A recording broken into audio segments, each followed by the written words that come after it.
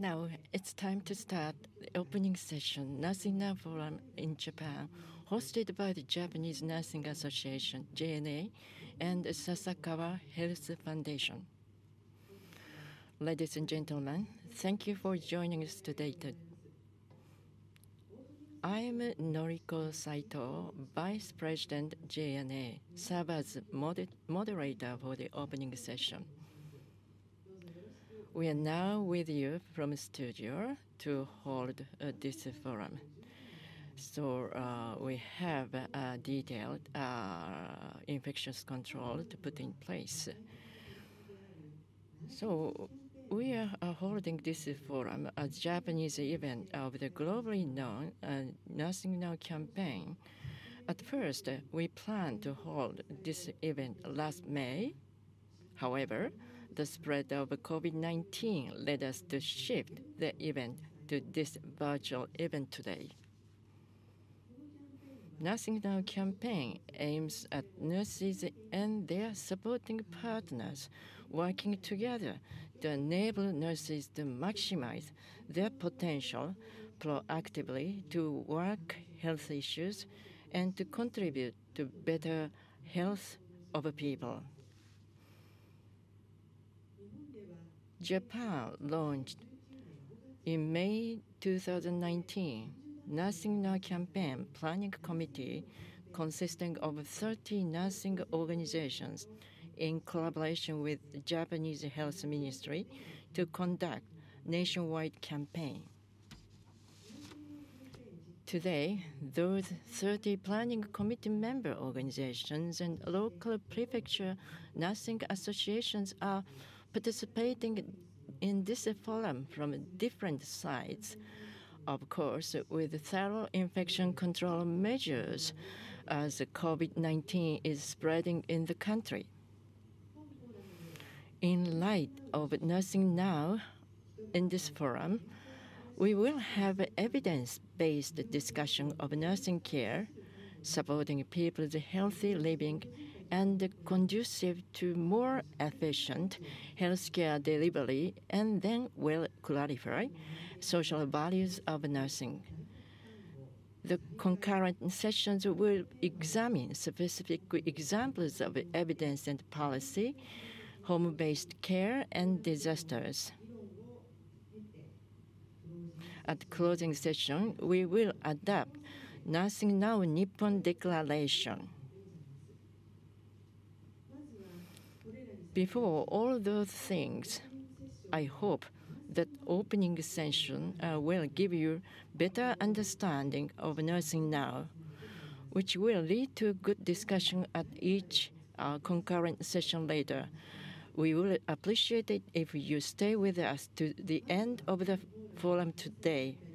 First of all, I'd like to invite Chief Medical and Global Health Officer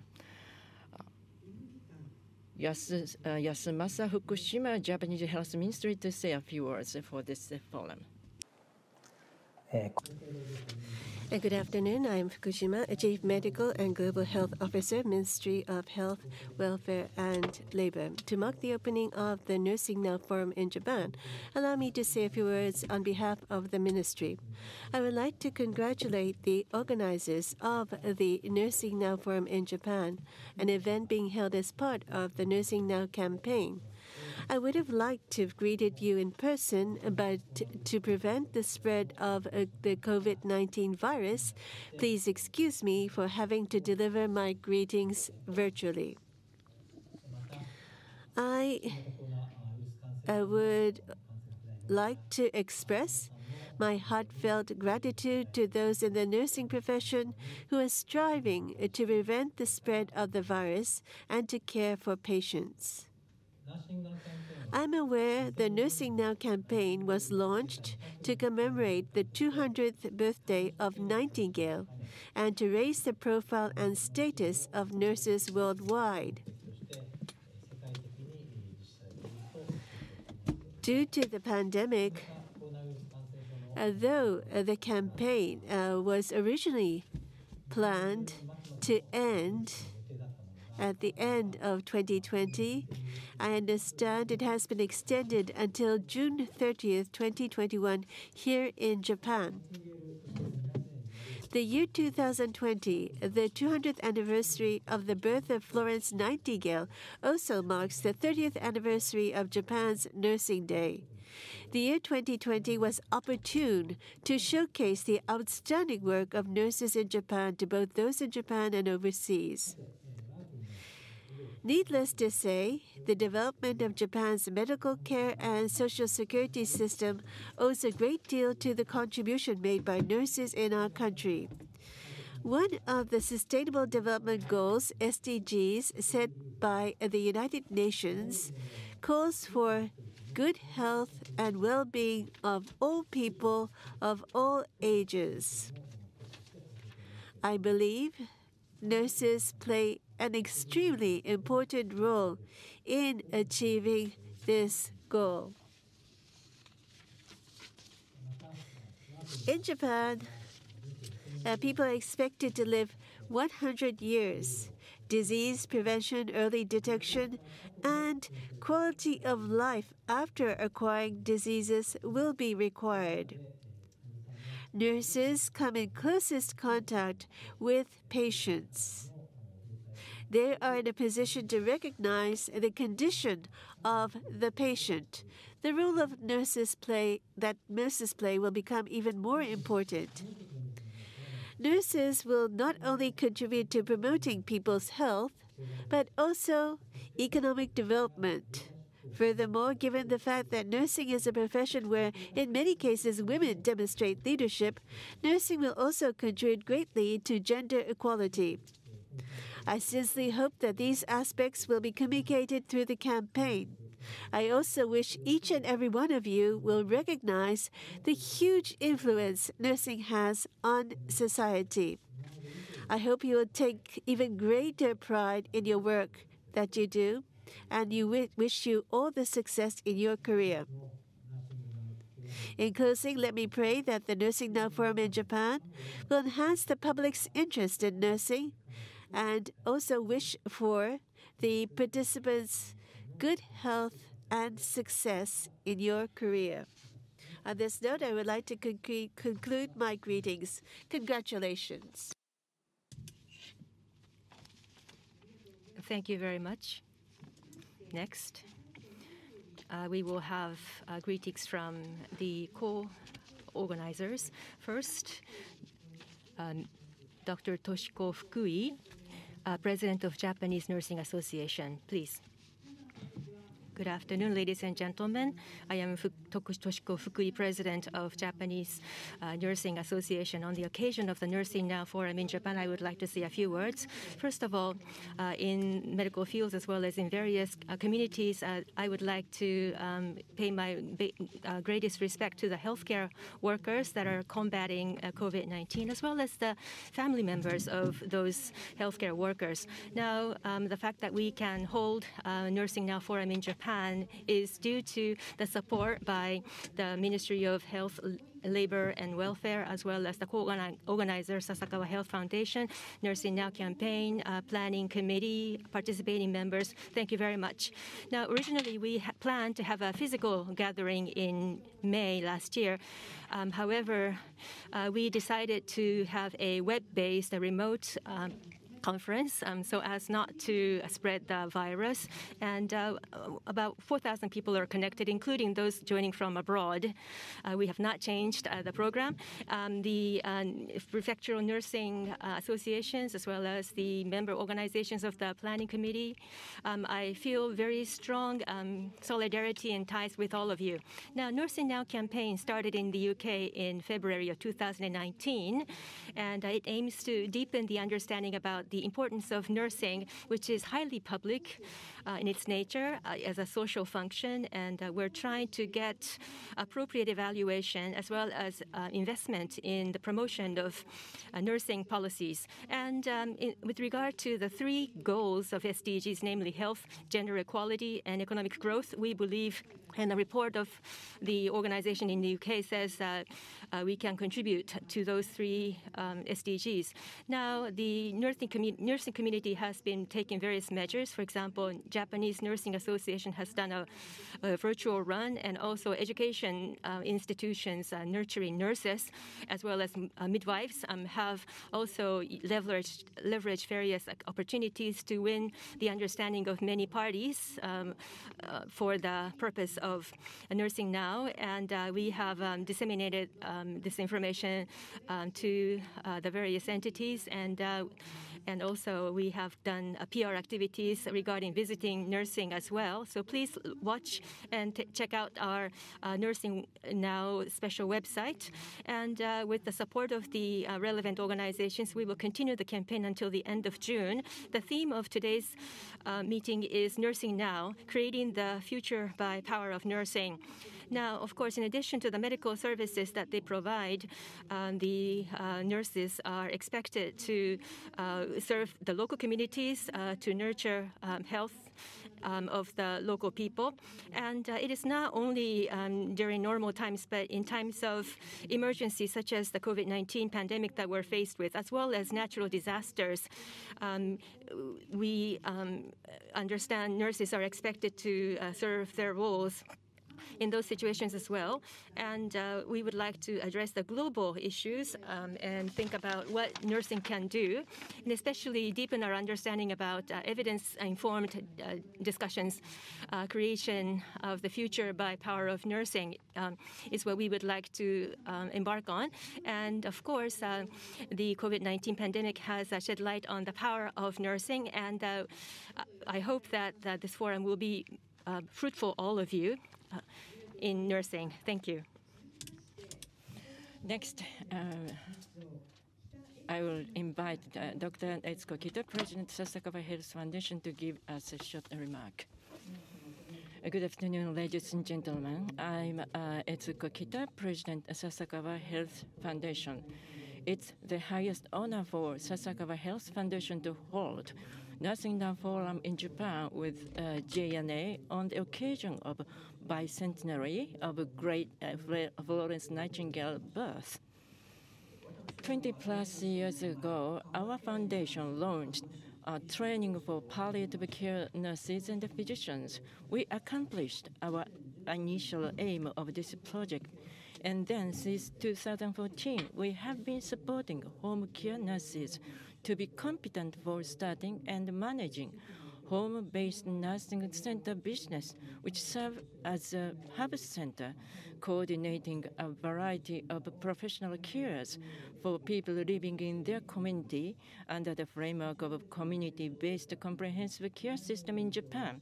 Already 70 nurses completed the training.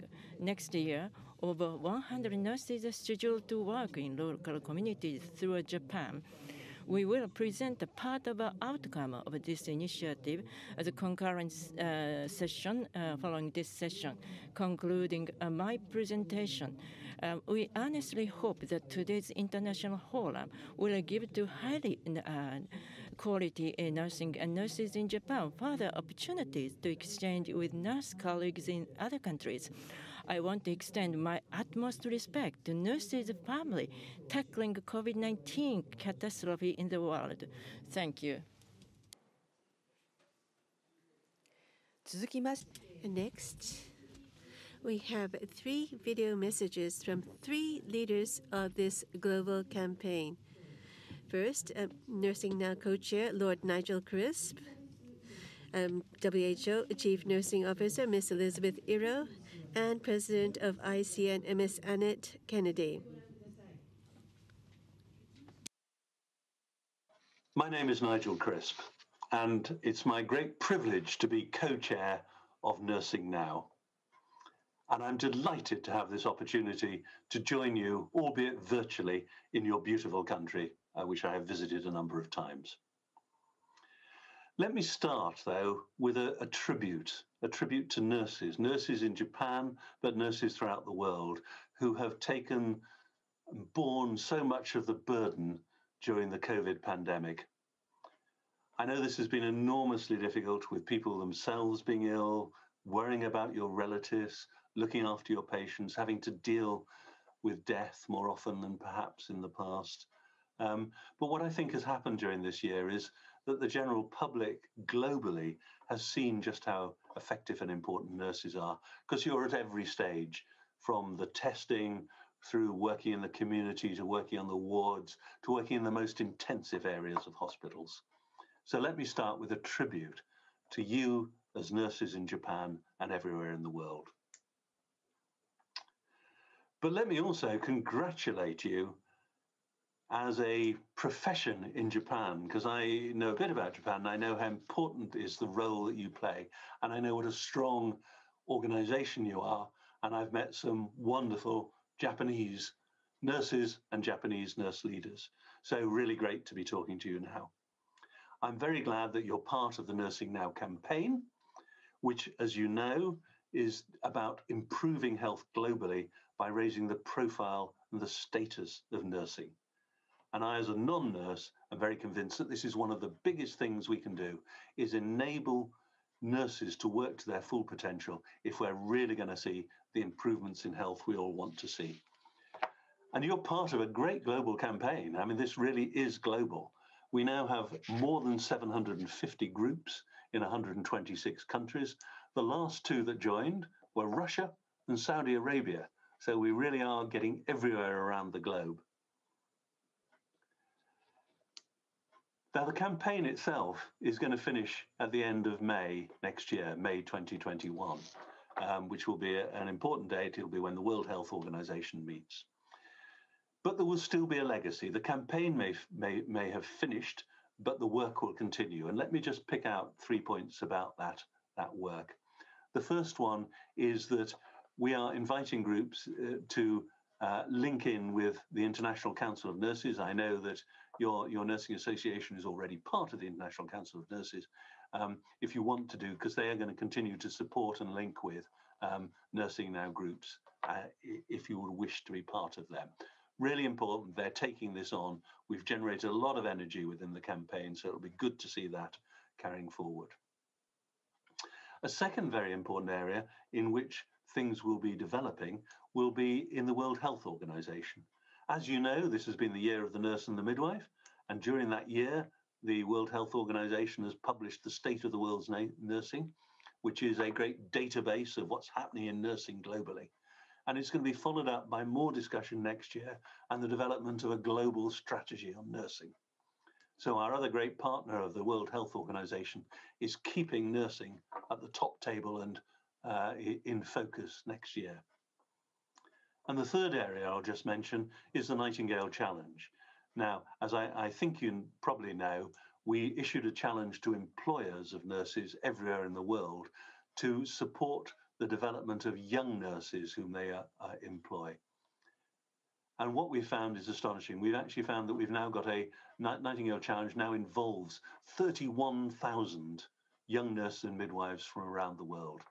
And the development programs are not about clinical development, they're about leadership, they're about advocacy, they're about understanding the system so that you as nurses can be full all round professionals.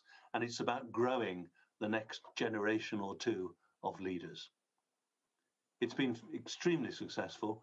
And as a result, the Burdett Trust for Nursing has decided to continue it for another two years in the first instance, but with a view to carrying on thereafter.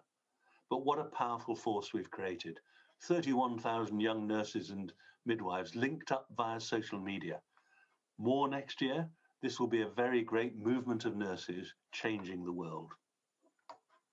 So let me finish just by congratulating you once again on what you do day in and day out and on all the developments and innovations that you have created over the last year and long before that. I think we can look about the future with optimism. COVID, dreadful as it has been, has, I think, raised the profile of nurses. I think the year of the nurse and midwives has raised the profile too throughout the world, and we've seen investment in nurses in many countries. It's terrific that the World Health Organization leadership is very much supporting of nursing. So, whilst we in the campaign fade out, you as nurses have the scope to develop even further for the future. And I look forward to hearing how you do that. Thank you very much.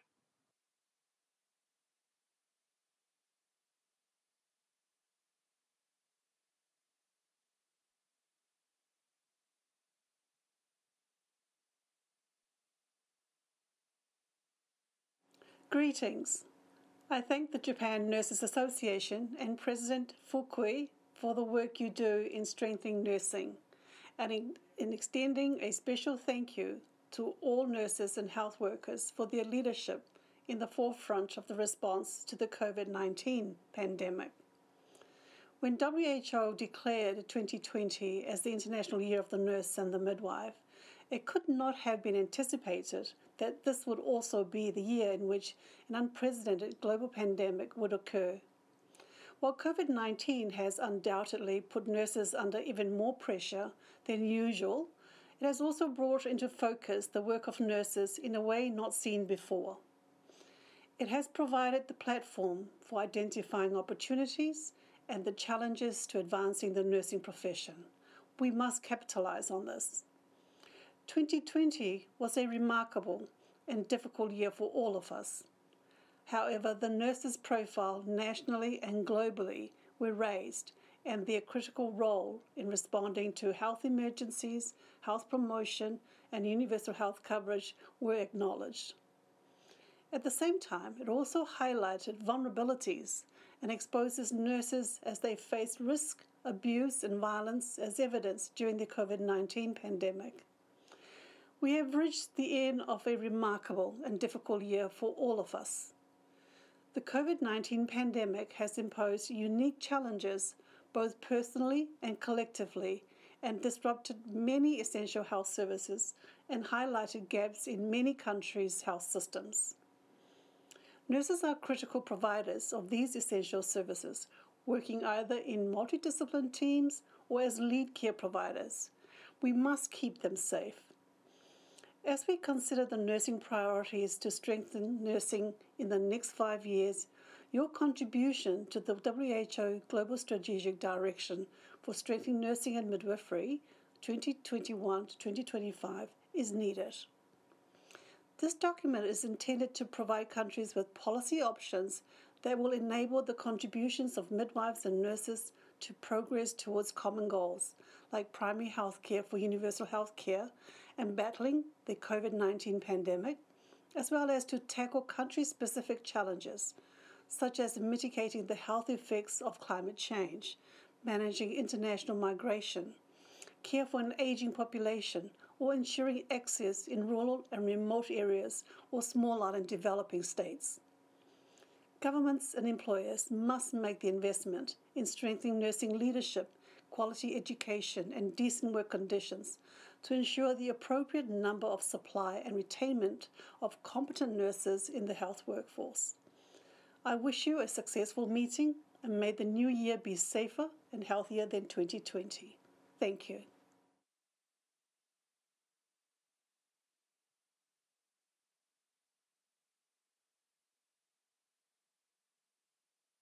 Dear President Fukui and the Japanese Nurses Association, it gives me great pleasure to bring you greetings from the board and the staff and your 27 million colleagues around the world that ICN represents. I know today you launch the Nursing Now Forum that you had planned to launch in May 2020, but because of COVID 19, and like a lot of other activities throughout the world, that had to be cancelled. 2021 this year, we expect to be a very different year. We're looking forward to the vaccination and to the elimination of COVID 19. In 2020, we had planned a great year, a year we would celebrate nursing because WHO had designated 2020 as the year of the nurse and the midwife. And it was the bicentenary of Florence Nightingale.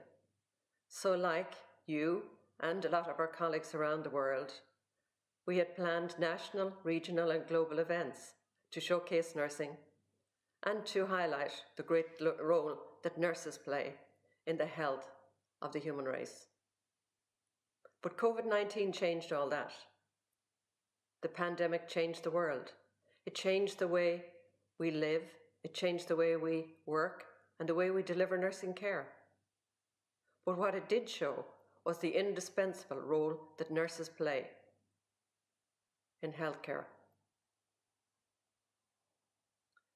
However, you are now, today, launching the Nursing Now Forum, and I'm delighted that you can do so because it will show the great work that nurses play and based on what has been done last year in the nurses' curbing of COVID 19, society at large will know that without nurses, there can be no healthcare.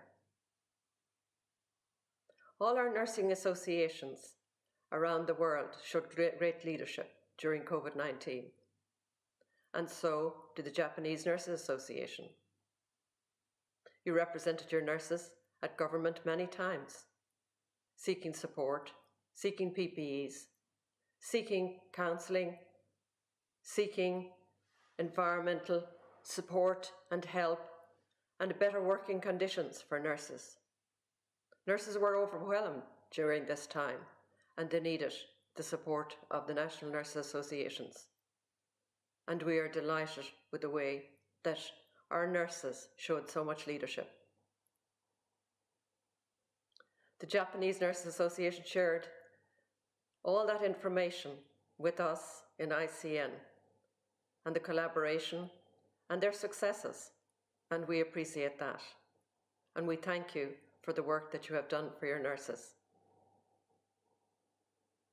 I hope that 2021, and as you launch the Nursing Now Forum, that you will be very successful and that nurses will get the appreciation and the, and the status that they deserve, and rightly so. We look forward to great collaboration with the Japanese Nurses Association and with all our colleagues around the world for 2021. I'd like to thank all the nurses in Japan for all the work you do. We are indispensable as nurses, but we are not indestructible. And I want to make sure that you yourselves take care of yourself and your health. That is so important. We have lost many nurses during COVID 19 and many nurses have become ill, and some have given their lives. We cannot afford to have that happen again. So I ask you to look after your health because it is a human right for you as well as for your patients. I wish you success this year and know that ICN are here to support you. Know also that we take on the legacy of nursing now in 2021, and particularly the forums and all the work that has been done in various countries.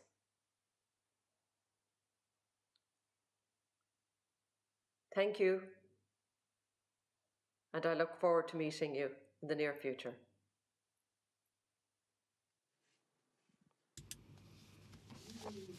Thank you very much. Uh, indeed, for powerful messages uh, from uh, Lord Nigel Crisp, Ms. Elizabeth Iro, and Ms. Anna Kennedy to push, to push forward the nursing professionals. We'd now like to proceed to the keynote lecture. Today uh, we have as a keynote lecturer, Executive Director of Nursing Now, Dr. Barbara Stilwell to talk about Nurses Rising, the story of nursing now as nurses meet the challenge of universal health coverage. Uh, Dr. Barbara Stilwell, for the past 25 years, has worked on international health workforce issues, first with the WHO based in Geneva, and then with Intra Health International in North Carolina. She has helped countries around the world to manage change and development in their own health workforces. In the UK, Dr. Stilwell is best known for introducing the nurse practitioner role in general practice. And in 2018, uh, she has become executive director of this world campaign, Nursing Now. Uh, due to time difference, uh, she will be delivering her keynote lecture via video. Hello, and greetings from Nursing Now in the UK. I'm delighted to be able to join you by video. I wish I was there in person, but I can't be. Uh, so, this is the next best thing. And as we know, during this year of the pandemic, we've all had to begin to share using technology uh, and not using aeroplanes. And some ways that's good, isn't it? Because it enables me to be with you despite everything. You'll recognize a lot of people in this picture, I imagine. Uh, Nursing Now Japan has been launched and been working and been enthusiastic. Today, I want to talk about how we continue that momentum, how nurses can meet the challenges that lie ahead. Not only those that we've faced this year that may not yet be over, but the ones that are going to come to us in the coming decade as we seek to make sure our populations everywhere, everybody everywhere, has health coverage. You will remember that Nursing Now is a global campaign that started in 2018 with the aim of improving health by raising the status and profile of nurses around the world. We have been telling a new story of nursing. And that has been really quite momentous because we've been telling it in a year where all the attention of the world has been on COVID 19. We are a social movement and we've been enabled by social media. We haven't been organized in the sense that we have a very small core team, we don't give out money, um, we don't ask people to form groups. But the emergence of the groups, the way the groups have developed, reflects, I believe, that nurses are not content. They're not content because they're often invisible. And that's really critical. After this year, it's hard to imagine that nurses could be invisible. And in many ways, that has changed. But what we want to be sure is that what people see is what nurses and nursing really is.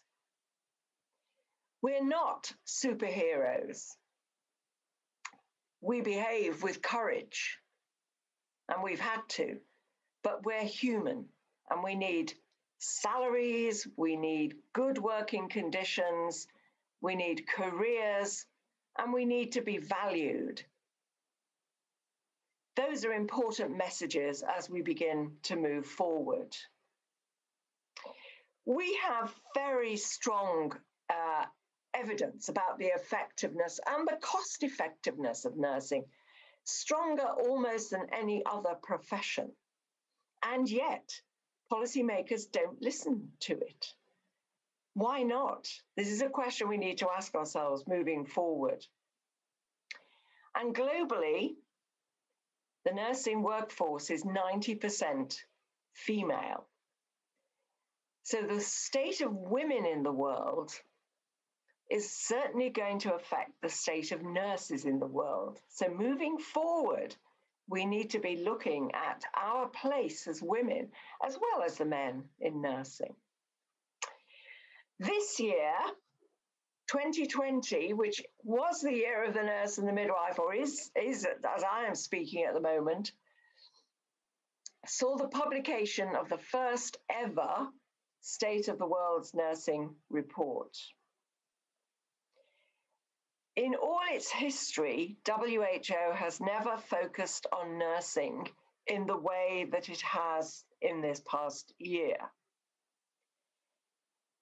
In some ways, it was a pity it was 2020 because all the attention was on the pandemic.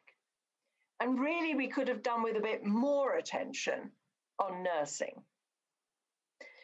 But we have to pick up where we are. And we have to take this publication, read it. All of you should read it and look at the recommendations.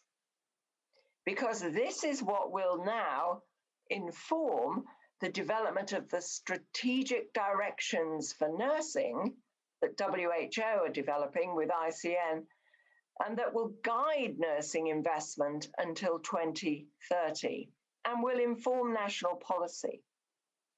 So we need to be very familiar with what's in the state of the world's nursing. It's good data, and there's good data for every country. So you should know what's in there about Japan and what the future looks like for nursing in Japan. There are some key messages for all of us. First of all, nurses are frontline health workers in every country in the world, every country. They constitute over half of the global health workforce, and 90% of patient contacts are with nurses. 90% of patient contacts with health workers are with nurses. So, nurses are often best placed, they're the best people to lead on health promotion, on illness prevention, so that people can better understand looking after themselves, creating their own health. And they're best placed to do that because they not only are everywhere, they're the key workers, over half of the health workforce. Um, but they're also um, essential to meeting the demands, the challenges posed by healthcare demands. So, without nurses, we're not going to be able to get that breadth of healthcare that includes care to prevent illness, promote health, as well as look after people who are sick. That's the strength of nursing. However, importantly, in the next 10 years, the world will be short of 6 million nurses. That's going to be one of the biggest problems. Now, ICN have recently calculated that if you take into account nurses who are going to retire in the next 10 years, that means the world will be short of close to 10 million nurses. Where are those nurses going to come from? We know there's a problem with migration of nurses between countries. Um, we know that a significant number of nurses don't work in the country they were born in. It's certainly true in the UK. So all countries have to be planning to have an adequate nursing workforce. Is Japan planning that? Are you planning for a workforce that you're going to be short of nurses in 2030? Significantly short. And without those nurses, we won't be achieving health for all and we won't be achieving the sustainable development goals. No nurses, no healthcare. It's that simple. No nurses, no healthcare. So nursing now, nursing now has grown hugely since we started in 2018. February 2018, we had absolutely no groups at all, and actually no intention of having nursing now groups. But you can see now, by November 2020, we have so over 700 in 127 countries around the world. This is a true global movement. And the big advantage of that is that it means we are all in touch with each other, at least in theory, through Nursing Now.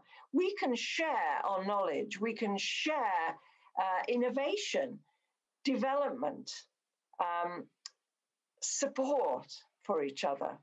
And those things are very important, we have found, um, in, in the way that um, our young nurses, particularly, make connections around the world. Investing in nursing is investing in health, it's investing in economies, and it's investing in greater gender equality. Hence, the triple impact of nursing. Nursing is a best buy in healthcare. It's effective, it's cost effective, and then it develops the economies by producing healthy people, but also by getting women, as it's mainly women, into the workforce. We would like to see more men joining nursing, but it's important. It's important that women do see a career path for themselves in nursing, and it does develop their own ability um, to be equal players. Investment in nursing is a best buy and should not be con- considered a cost by policymakers. If we want to reach universal health coverage, health for everybody everywhere, nurses are key to doing this. And we've looked at the literature, um, the evidence around this, and we can see that nurses can take on a lot of specialist care. Nurses can take on a lot of leadership, clinical leadership roles, which currently they may not be allowed to have. But we know, for example, in primary healthcare, that nurses nurse practitioners, that's advanced nursing roles, nurse practitioners, can deal with 80% of primary care problems. 80%. That is so important.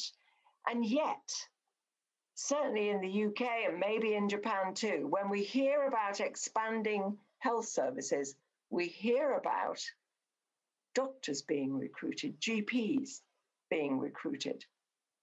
It's time to look at the workforce differently. It's time for us to look at the way we share our roles. We share the jobs that have to be done right across the health workforce in a way that's collegial, that we support each other, that we're not going to war about this, but we're looking at rational ways of sharing out what needs to be done and we're allowing nurses to work to the top of their license. So to be to have the laws, the frameworks, the education that allow them to practice um, as as an advanced nurse practitioners. And in that way, there's a cost-effective pathway to universal health coverage. So, our goal in Nursing Now is to get this message out there. We want to change policy, we want to change it globally, and we want to change it nationally. And we want to do this by sharing the data that's that is available by sharing the evidence of the impact of nursing, of advanced nursing practice of having well trained nurses on patient outcomes, on the amount of health promotion that goes in to uh, a consultation with a patient. So patients become better able to look after themselves. We want governments to increase investment in nursing. And the exact way they should be doing that is something you should be telling them. Do you know that the regional director for the Western Pacific is from Japan? Dr. Kasai. You should be lobbying Dr. Kasai. You have a great entree, and you should be lobbying Dr. Kasai to raise the profile of nursing regionally as well, and to help you to raise the profile of nursing in Japan. That's what influential leadership's about. And we are, and as you will have seen if you've joined with the Nightingale Challenge, that we are promoting influential leadership among young novice nurses so that they become able to not only talk about nursing outside nursing, but also influence policymakers to invest in nursing. So 2020 has been the year of the nurse and the midwife. It's been a celebration as much as we could celebrate, and often the mood has been sad and exhausted because of everything that's been going on. The impact of COVID 19 on the visibility of nurses has been huge, as I said before. Um, we've been seen by many as superheroes, we've been applauded, we've been praised. But what now? What now as we move into 2021, the year of the health worker or health and care workers? What's going to happen to nursing? and what's going to happen to nursing now. How do we make sure that those investments in nursing take place and continue? This is something that I've developed myself. This is something I've called the art and science of the possible in nursing. This is what nurses do, and I think it's a, both a strength and it's a challenge for nurses. We fill in the gaps when, when it's needed. So if we see something needs doing, our sense is to do it. We look for opportunities to provide better care, to get close to patients, to do the jobs that, that we need to do with them. And we take on new tasks.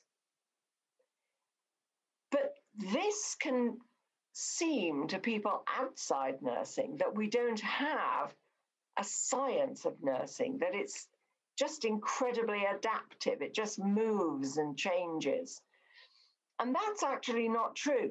The science of nursing is the science of all medical sciences. We have to know about physiology, about pharmacology, we have to know anatomy, we have to know all of the things that you would expect pharmacists, doctors, physiotherapists to know. We have to know all of those as a foundation. What makes nursing special is that we have to deliver that within the art of compassionate care. And we all know compassion is very hard to measure, isn't it? Um, and you learn to be compassionate as you practice nursing.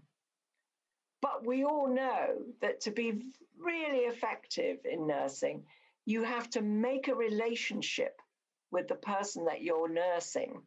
And it's within that relationship that you find out what they want, that you can provide patient centered care. So, nursing is not only the knowledge, it's also the experience and the practice that is critical in developing a nursing expert. Florence Nightingale, whose birthday, bicentenary of whose birthday we celebrated in 2020, said this Nursing is a very serious, delightful thing like life, requiring training, experience, devotion, a power of accumulating not of losing all these things. So, what she's saying is, we as nurses, we take on every experience, every piece of knowledge, and it builds into our expertise as nurses. We can't lose any of it. And the critical thing for us is that when we're working with young nurses, with novice nurses, we have to help them to do this. And it's very easy, isn't it? Particularly now with pressure on the health services, for us to become impatient. Um, not to be supportive supervisors, not to be teachers. But we need to remember this. It's a power of accumulating all of these things. And it's in this accumulation that we can become influential leaders. We remember Florence Nightingale for her lamp, which is really a pity because Florence Nightingale actually invented um, new ways of presenting data, pie charts. Uh, and if you look up the history of Florence Nightingale, you can see some illustrations of it. She was a very difficult woman. She would not give up. She took her data back to England from the Crimea and she persisted until she got the government to listen to her and to listen about the terrible conditions that the soldiers were in. And we've seen examples of that during the pandemic of, of nurses who have not given up, um, nurses who've been influential, who've really made a case. For example, uh, in Canada, for long term care homes and the staff who work in them and, they, and the people who live in them, that they needed better PPE. We've all had to make a case for PPE around the world and for PPE that fits and is there in, in has a good supply. That's being influential. And what we are moving to do in 2021 through Nursing Now is to have a political lobby to bring nurses together around the world to actually go to politicians, to take their manifesto, to take their data and say, look, you know, here we are. Invest in nursing. If you invest in nursing, here's the payoff. So we need to become influential leaders. All of us need to develop our elevator speech. That speech that can go on for 30 seconds that really convinces somebody they need to invite you to their office to give you a, chance to talk about nursing more. We need to be all getting good at that. We need to be using the data to create dialogue which informs decisions. The Nightingale Challenge does focus on creating young, influential leaders, and we have great hope in young leaders. We believe that we should be investing in them to prepare them for a different future. And the young leaders are different. They use social media in a different way, they connect with each other in different ways. Um, they have different aspirations for a career. And they're going to move around the world too. And it's important to remember that. So, if we want to keep them, we're going to have to get very good at retaining nurses. So, investing in young leaders is very important. And to reflect that, the Nightingale Challenge is going to continue until 2023, but it'll be called the Nursing Now Challenge. Um, and it'll be run by a university. But that's really critical. It's going to continue with the focus on young novice nurses so that we can keep them, so these young nurses can be enthusiastic and so they can sh- bring other people into nursing because without that recruitment, we're not going to make up that 10 million. So that's thank you for listening. That's all from me today, except to say that I hope you will continue to be enthusiastic. I hope you will continue to influence your politicians around the world. Nursing is a best buy in health. Please remember that.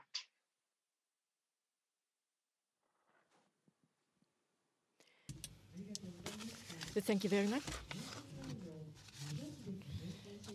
So uh, she uh, presented uh, uh, what uh, nursing now is aiming at. Uh, that is a, a, very powerful message to nursing profession. Thank you very much. So profile of nurses is increasing as the nurses are tackling with COVID-19. One half of the healthcare professionals are nurses. Without nurses, we uh, cannot have health care. Therefore, to uh, uh, make the best use of nursing professional potential it is very important to have advanced practice nurses such as nurse practitioners. That is a very important message applied to Japan as well. So, uh, based upon evidence, uh, also nurses uh, must do lobby activities to uh, the uh, policy makers. This also will be covered by uh, Dr. Teshima's presentation and also the relevant to the theme of the concurrent session one. So Ms. Stilwell uh, uh, gave us uh, the very importance of the Nursing Now campaign in order for nurses to make a healthy society. That is indispensable a message for us. So uh, her message has a full of important uh, points uh, relevant to our session. Now, beyond Japan, next we will uh, give uh, the video illustration of Nordic countries in Europe. Dr. Nina Hahtela, President of Finnish Nurses Association, will present us the Year of the Nurse and Midwife in Finland and Nordic countries in Europe. She is uh, the president at uh, Finnish Nurses Association. She has been working in healthcare for 24 years as nurse, nurse manager, senior advisor, scholarship researcher, head of health policy and development, and director of health policy and development. She now leads Finnish and European nursing as a board member of Nordic Nurses Association and vice president of European Federation of Nursing Associations.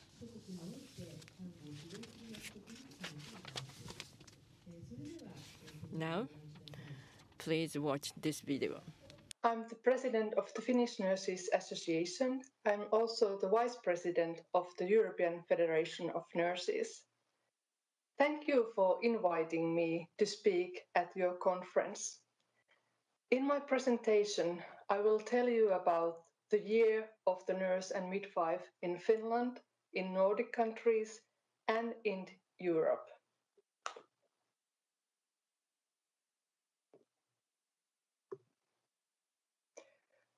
First, a little bit about the Finnish Nurses Association. Our association was established in 1925. We are a professional association. We unite nurses to support their capable expert profession and to promote their interests and high quality care. We have an active role on national and international level with Nordic, European, and global partners. Many activities were planned to celebrate this year, as we had our own 95th anniversary and as the World Health Organization supported 2020 as the year of nurses and midwives. The year started with a big hopes. We, we were happy to have the President of the Republic of Finland to write a greeting to Finnish nurses and midwives in our magazine in January. He was supposed to come to speak at our annual conference in March. But as we all know, the COVID 19 came and changed all the plans. At the Finnish Nurses Association, we thought that it is important to support nurses and give them a chance to tell how they are coping during the coronavirus at their workplaces. In spring, we conducted a qualitative survey and based on the results, composed a quantitative survey this autumn. Based on the results, half of the nurses considered changing jobs and 40% reported to be exhausted. Media has been very interested on nurses' well-being, but the government and employers have not been willing to pay any corona bonus for nurses. nurses are very disappointed as they feel that they have given all and put their health on risk. Then a bit about the uh, Nordic Nurses Federation. The Nordic, Nordic Nurses Federation joined Nursing Now. In 19, uh, 2019, we focused on mapping on the presence and impact on chief nursing officers and government chief nursing officers in the Nordic countries, which are Denmark, the Faroe Islands, uh, Finland, Iceland, Norway, and Sweden. We looked answers for three questions. What are the roles and responsibilities of governmental chief nursing officers in the Nordic countries? What is the impact of the government chief nursing officers in countries who already have the function? And how can we strengthen the roles of government chief nursing officers in the Nordic countries? Year 2020 was 100 year anniversary for the Nordic Nurses Federation. The anniversary conference was planned to hold in Denmark in September 2020.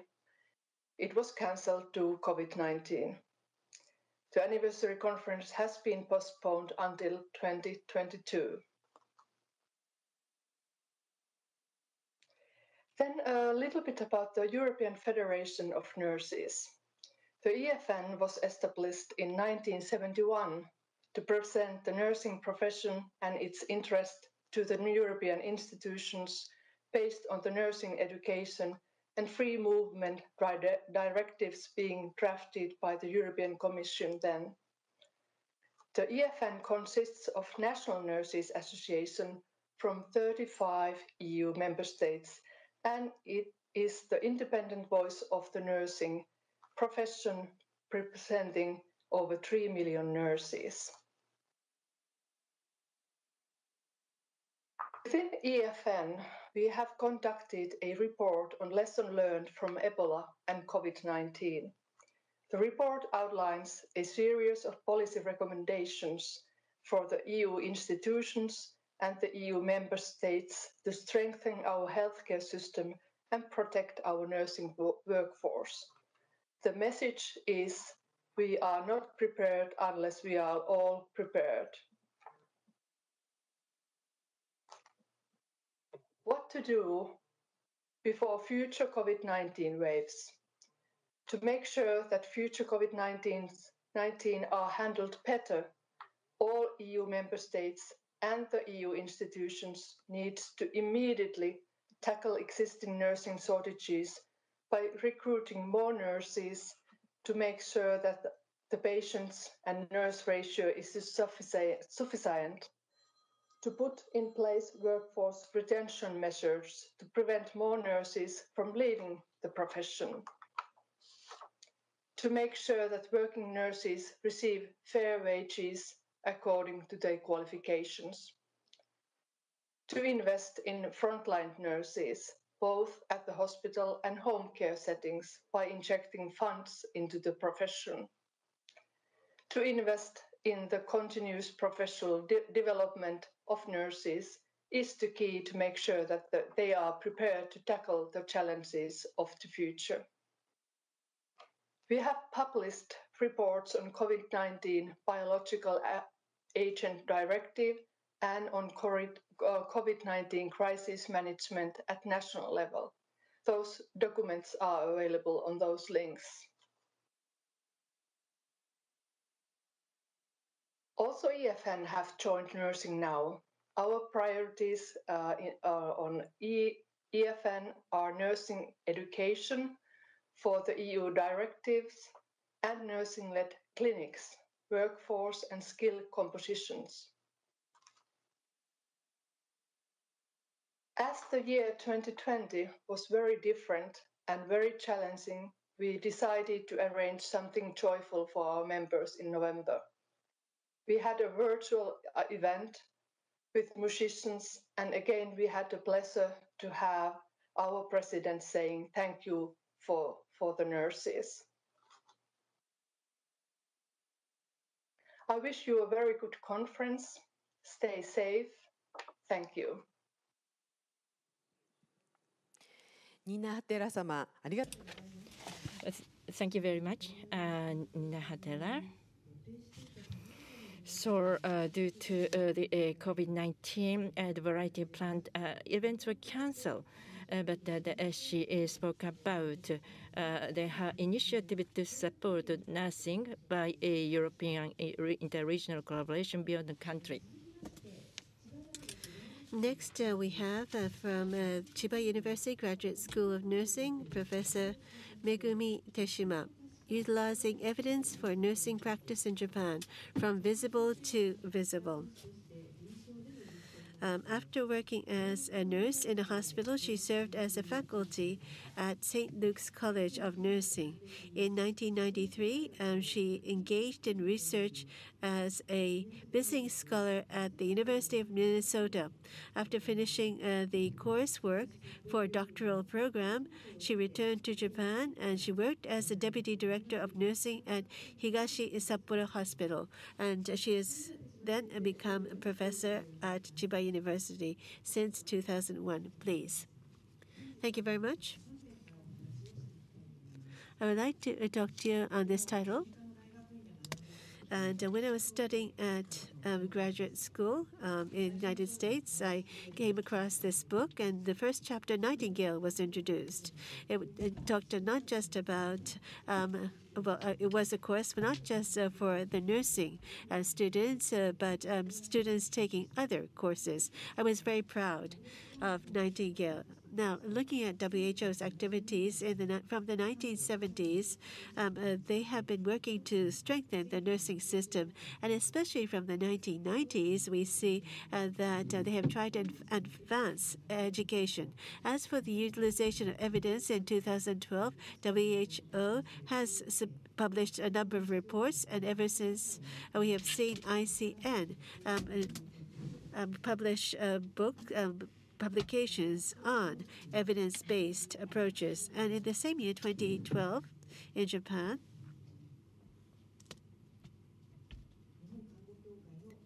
the JNA's DiNQL started. And in 2020, an update of the situation was reported. And uh, this report can be read uh, by downloading the PDA. the PDF. Now, um, I've interviewed two hospitals. Uh, first, um, the Keio University uh, affiliated hospital. Now, at Keio University Hospital, um, from 2013, they have set a five year plan and they are uh, trying to establish evidence based uh, practice. And they are continuing on with this effort. Evidence based practice team was established and are carrying out uh, these types of activities. Evidence utilization means that uh, trying to find evidence uh, which will be the grounds for a guideline and use the evidence and see whether it is effective. At Keio University, University uh, they have the um, best practice research laboratory at the Faculty of Nursing and Medical Care, and uh, they, they uh, as well as the Medical uh, School of Medicine's Critical Research Center supporting the EBP team. Next is St. Luke's International Hospital. Um, in 2019 November, we received this information. ANCC, a certification association, is recognized um, St. Luke's as a magnet hospital. Now, St. Luke's Hospital in, in December uh, uh, 2012 um, have decided to challenge this and have embarked on this path. Magnet Hospital uh, tries to retain hospitals and provide high quality care. And um, this Magnet Hospital um, re requires to satisfy these five conditions. And there needs to be evidence and go through screening uh, because it questions empirical outcomes. And St. Luke's um, was able uh, to uh, clear, uh, provide evidence on 87 of the items, um, proving that they are practicing them. And uh, one is example was CAUTI, catheter-associated urinary tract infection. Now, a nurse at a ward um, saw that there were frequent cases of uh, this CAUTI, and uh, tried uh, to address the issue using a guideline. And there are two things that were done. First was to assess and confirm through when changing shifts and consulting the doctor and having a bulletin to share the information. So um, these initiatives were taken, and as a result, we see in this graph uh, that. Um, uh, the occurrence uh, became zero, and this has continued to be the case. This was evidence uh, that proved that this approach was effective. Now, um, and uh, two hospitals um, did this, uh, but you might think it's because these are big hospitals that they were able to do it. But from small hospitals, they say that they have limited number of samples and are unable to do this. Now, um, JNA uh, from 2012 have uh, been trying uh, to ensure the good health of its nurses and also to improve the quality of uh, nursing and have introduced a database for improvement of nursing quality and labor. And as of 2020, 431 hospitals, 4,258 wards are participating. And um, through advocacy, evidence based advocacy, we were able to, for example, um, win the introduction of a new insurance fee category for dementia care. And also, um, um, compared to the incident data, uh, we saw uh, that um, uh, there were a number of incidents occurring um, which required physical restraint. But having advanced nursing in place, they were able to avoid such problems, and we were able to persuade the politicians, and this insurance fee category was introduced. We understand that it's difficult to obtain data, but um, there are more than 4,000 people participating in this forum, and there are researchers and representatives from companies. We hope uh, that you will understand uh, that um, you will develop something where data can be easily built through just making statements. Now, uh, President Fukui um, held a news conference on December 22nd and explained that there are a number of nurses quitting uh, due to COVID 19. She explained to the media what was happening. It was just before Christmas. It was a very important timing, and this led to the change of the public's mindset, I believe. Now, after the news conference, uh, Kyodo News um, put up this headline saying that at 15% of hospitals, nurses are quitting. And at um, those hospitals dedicated to COVID 19, the turnover rate is 20%. Uh, this is a crisis. And uh, no matter how much we say that this is a problem, um, data was able to prove that this is the case. So these numbers told the story. Now, um, to summarize what I've said, well, um, I've interviewed two hospitals, and uh, both hospitals were saying uh, that um, it is important to use data to carry out dialogue amongst teams. Uh, for example, I explained about uh, the cat catheter example, uh, but um, for example, pharmacists are involved in uh, the drug treatment, and also uh, we need to have other specialists um, in urinary uh, tract to be able to do such things, and also uh, data. Um, can be communicated to all people across borders, uh, uh, from the pub general public to professionals, overcoming the language barrier. And um, lastly, about um, using data, um, WHO, ICN, and ICM held a web meeting in June last year, and a data dialogue and collaboration uh, was the theme uh, that was taken up. They recognized the importance of data dialogue and collaboration. Uh, Dr. Barbara Stilwell, of the executive director of, nurse, Nursing Now, also talked about this report, but um, it says that 59 percent of the nurses, uh, uh, of the healthcare workers are nurses, and WHO um, is endorsing nursing. They recognizing the importance uh, of nursing. And in this report, um, it talks about the nursing roles in the 21st century health systems. And at the center, it says nurses as part of multidisciplinary teams. As you can see, um, this Um, these are the words of Florence Nightingale A life is a war and is a fight with justice. 200 years ago, she struggled and demonstrated her talent to produce graphs. And this has led us today um, to uh, carry out the activities that we're doing now. We are not alone. We have a network where people can work together and we can connect with people around the world. COVID 19 has brought about uncertainty. And because it's in times like this, we need to collaborate, use data so as to create a healthier society. Nightingale Challenge. Nursing. If you look at the website of Nursing Now, you will see that JNA and Chiba University are, are plotted on this map. Um, and um, from March, you will be able to see this video, I'm sure. Um, so please access the site. And um, lastly, I would like to thank the Director of Nursing of the two hospitals that I interviewed. Thank you very much, Dr. Teshima.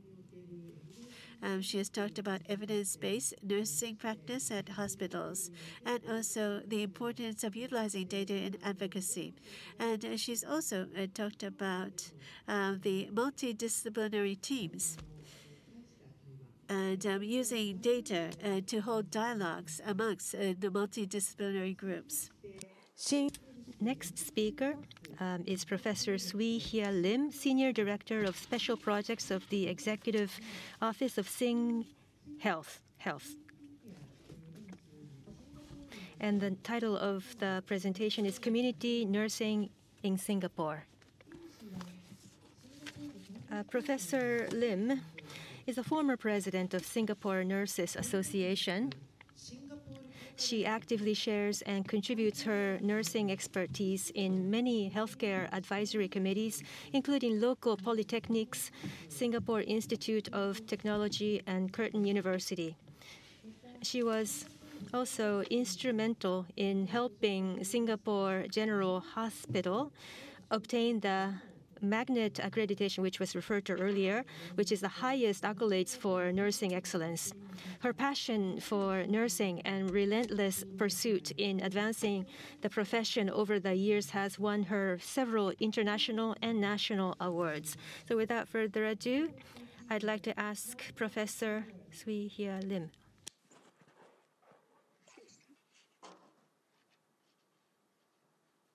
Okay, uh, good afternoon. Thank you, President of uh, JNA, for the opportunity to share community nursing in Singapore. Can you hear me? Okay, so for today's uh, sharing, I'll be uh, briefly go through aging population, nurses in the community, leveraging technology, and future of community nursing.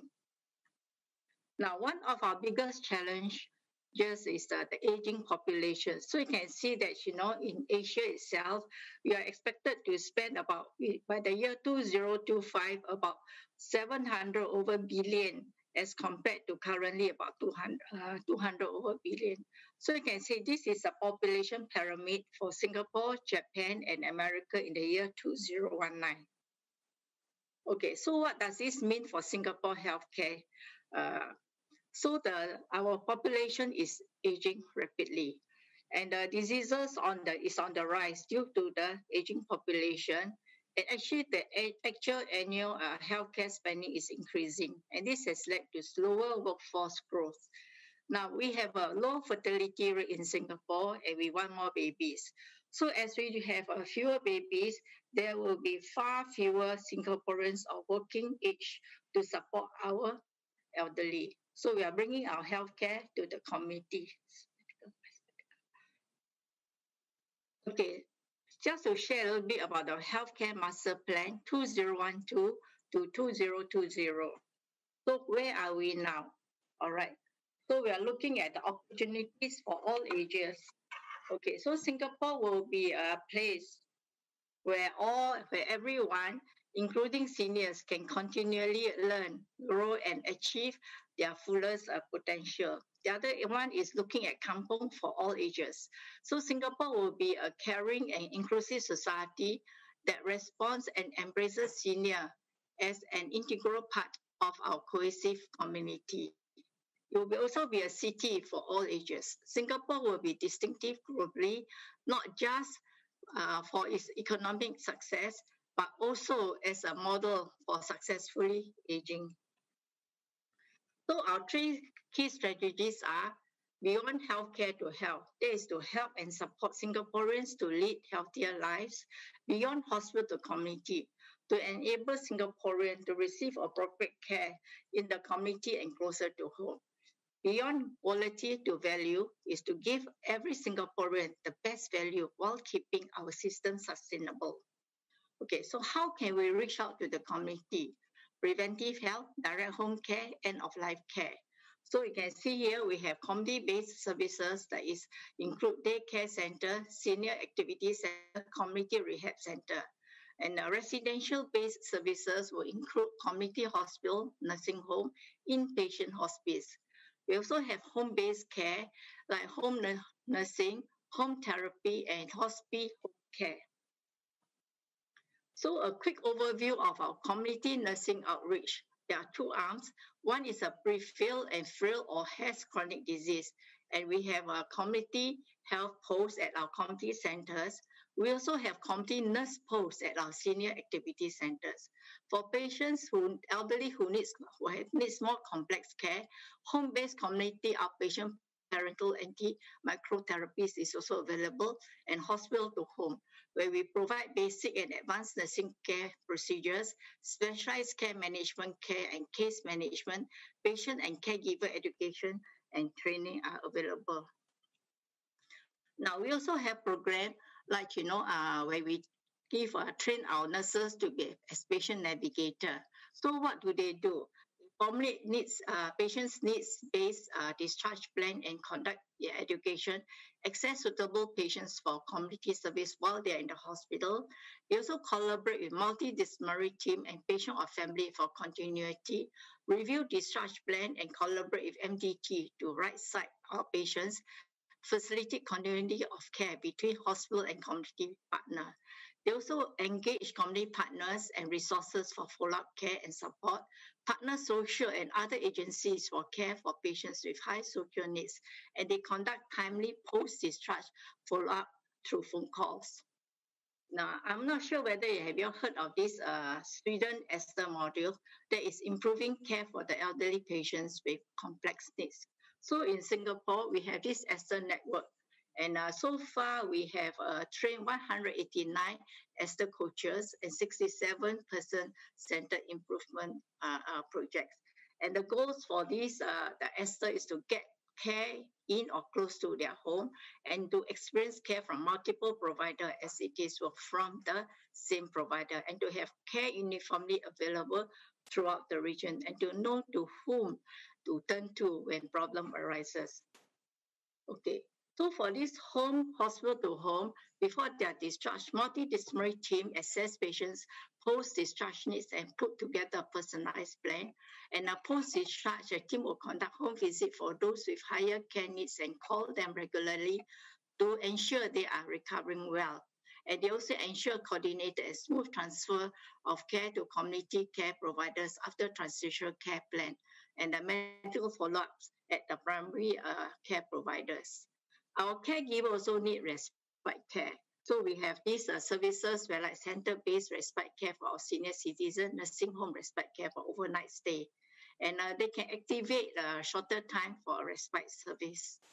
Okay, so how can we help our elderly who is out of uh, whose contact is only uh, out is out of home, especially during this COVID period when they are not allowed to move around.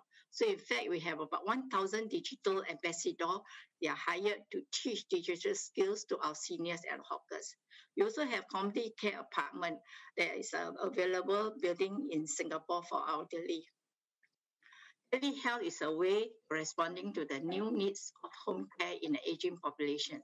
And this is to ensure continuity and safety of care for seniors and help patients to stay well in the community for as long as possible and to reduce the cost of care by reducing the need to travel to attend face-to-face consultation.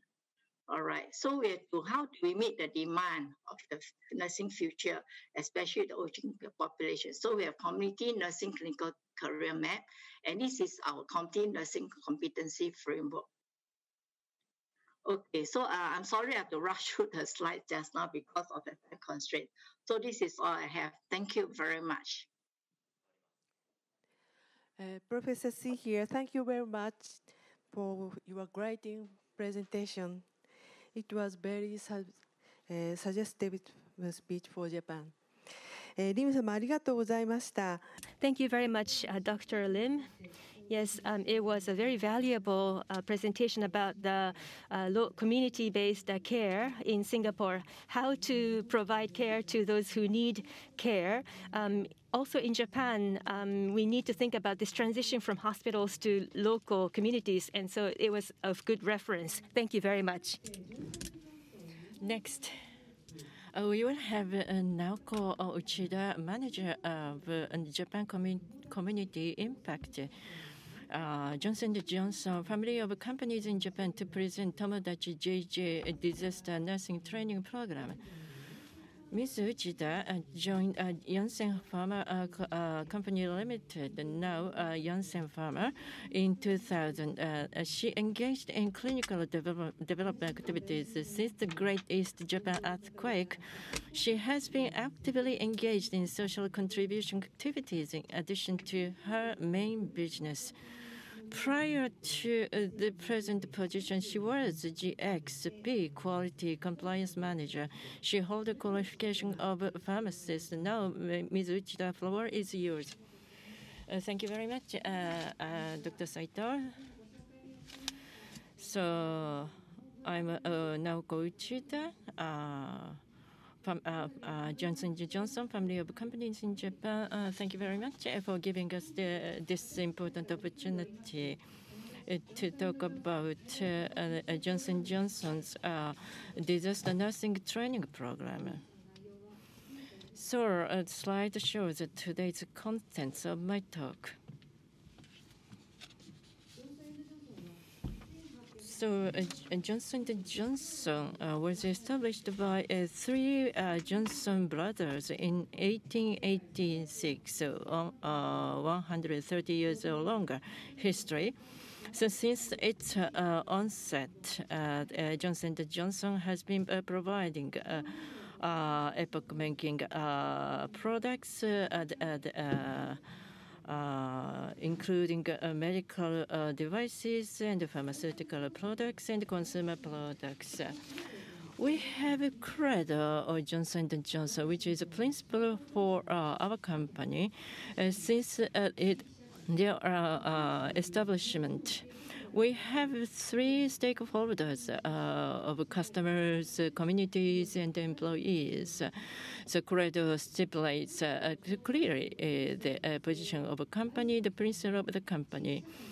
So particularly uh, in this project, based upon the uh, uh, responsibility for the community where we live, we work, so uh, the, helping people uh, to be uh, healthier, uh, supporting better uh, access care in more uh, places around the world, and the contributing to community care and the education in the community. So we are providing a variety of activities and the services. So uh, pillar of uh, this activity is uh, a grant uh, project. Uh, uh, so, we are providing support to NPO organizations which, has a clear-cut aim for the tackling the crux of the problem of the society. Now, I'd like to give you the our Tomodachi JJ nursing training program. So. Uh, since 2015, uh, this is uh, the training program for nursing students. So,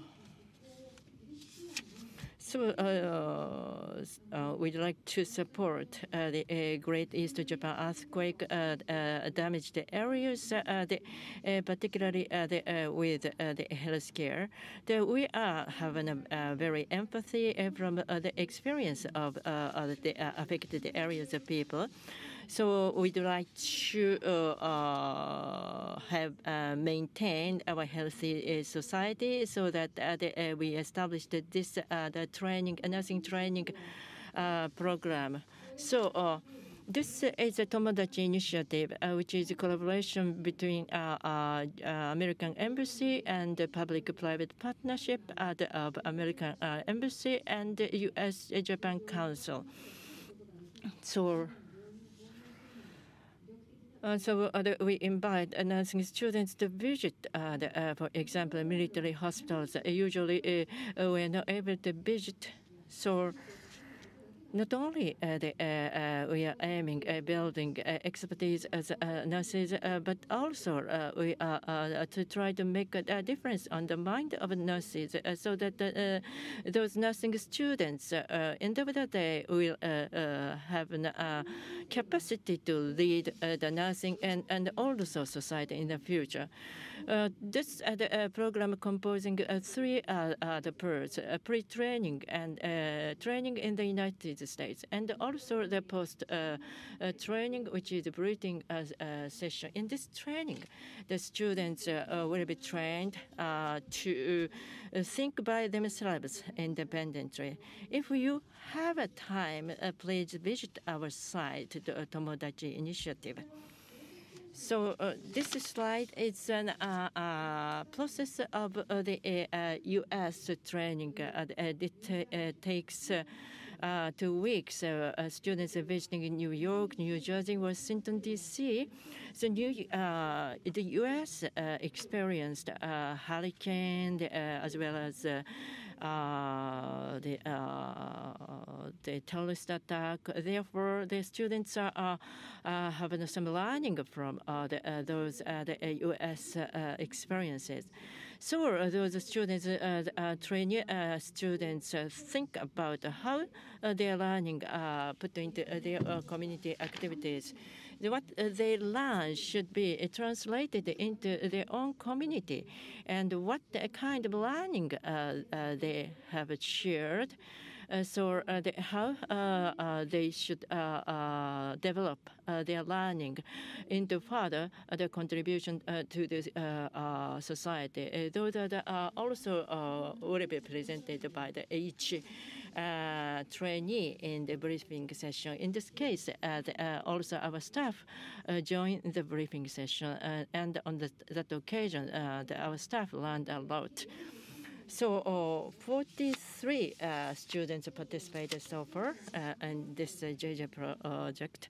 In the first, uh, uh, those students are the ex experienced Great East Japan earthquake, but the, that the candidate was expanded. Now the, we are covering entire the country as well as graduate uh, the uh, school students. And also not only uh, those trainees, mentors are very important, mentors are uh, the uh, professors from variety of universities. Uh, the, those names are presented on this slide, and the nine mentors already participated in this project. On this occasion, I'd like to extend my heartfelt appreciation to those nine mentor, mentors.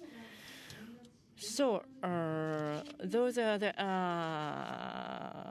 contents of uh, the uh, our Tomodachi JJ uh, nursing training program. So uh, the, those nursing students have an opportunity to think about what the nursing should be in the disaster Uh, setting and uh, uh, responding to uh, the uh, that kind of important the, instance and the, if they will be competent, which will lead to the very good society. So Johnson & Johnson, uh, based upon the, our Credo, Uh, so uh, we'd like to have an endeavor to uh, be uh, the healthcare company uh, contributing to the U.S. society, which is fair and sustainable. Thank you very much. Thank you, uh, Ms. Uchida, for presenting disaster nursing training program. Disaster preparedness is extremely important in Japan a private company supports the practices and the activities of nursing professionals. Nursing Now campaign states clearly that it is important for nurses to cooperate, uh, to, uh, to collaborate, uh, collaborate uh, with other relevant stakeholders. And opening session, we uh, had uh, four presentations. I think all the uh, messages were very relevant for us to continue to promote our Nursing Now campaign. I would like to take this opportunity to thank all the uh, speakers. And um, now, um, uh, we would like um, to take some of the questions that have been sent to us. To Professor Teshima, there's a question to you. Well, at the hospitals, in order to link the evidence in collective hospitals uh, to policymaking, I think we have to raise our voices. Um, so, where uh, should we coordinate the data and evidence? Um, can you give us some ideas as to how to collect and coordinate the evidence or data that has been collected? Thank you very much. Um, yes, um, the Japanese hospitals um, only 20% or so of the hospitals have 300 beds or more. So many of the hospitals have less than 300 beds. And given this reality here in Japan, for example, um, JNA have has already started um, this um link that is already in place. Um, so each of the nurses um, um, have to become a member of JNA and provide data uh, to uh, JNA. And from there, I think this will build up uh, the voice of the nurses. Not just hospitals. For example, the visiting nurses stations, and there are other medical or nursing institutions that we have to take into account. And the key will be how to collect all this information, how to try to use this information to carry out advocacy and the nurses uh, need to first join JNA and um, take part actively in the surveys being carried out by the association. That will be the starting point. Thank you very much. Yes, our members, uh, we have um, um, some 1.66 million, of which um, 200, uh, 750,000 are members of JNA. Um, so of the total 1.66 million, only 750,000 are members of JNA. So we have to increase the membership. And we've also uh, received a question, uh, well, saying uh, that in Finland, the president has delivered a message to the nurses, and this is nursing is recognized in Finland and then this should be replicated here in Japan. And this was just a comment, not a question. Uh, but also, uh, Dr. Stigwell, um, Stig, uh, Stilwell, yeah, yes, um, the people have come to recognize that um, it is very important um, um, that um, nurses recognize the importance of their role.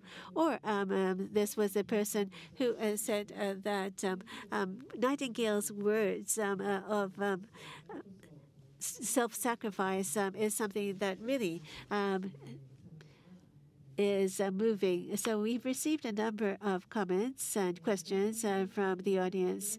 And uh, to all of you who've taken part in the opening session, and also those of you at the public viewing sites, venues, we thank you very much for joining us. And um, with this, we would like to conclude the opening session. Once again, we thank you for joining.